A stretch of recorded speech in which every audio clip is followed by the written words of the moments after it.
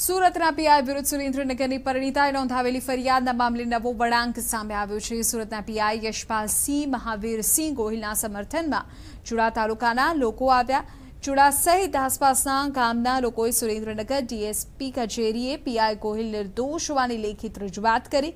ગ્રામજનોએ રજૂઆત કરી છે કે પીઆઈ ગોહિલ ચુડા તાલુકામાં ફરજ બજાવી ચૂક્યા છે અને ફરજ દરમિયાન તેમણે અનેક લોકોને મદદ કરી છે. ગ્રામજનોએ જણાવ્યું છે કે તેમના શત્રુઓ દ્વારા તેમને ખોટી રીતે ફસાવવામાં આવ્યા છે. ઉલ્લેખનીય છે કે અગાઉ સુરેન્દ્રનગર એક પરિણીતાએ પીઆઈ કોહિલ વિરુદ્ધ માનસિક ત્રાસ અને તસવીરો ખોટી રીતે માફ કરી વાયરલ કર્યાની ફરિયાદ નોંધાવી છે.